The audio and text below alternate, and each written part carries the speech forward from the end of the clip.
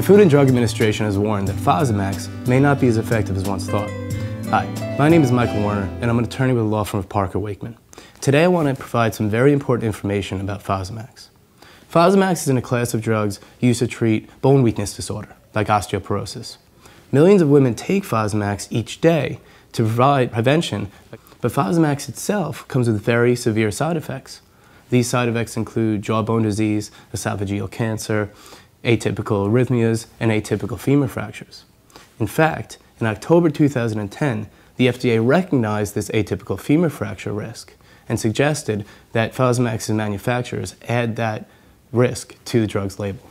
More recently, the FDA has done its own research and found that Fosamax may not be as effective as once thought.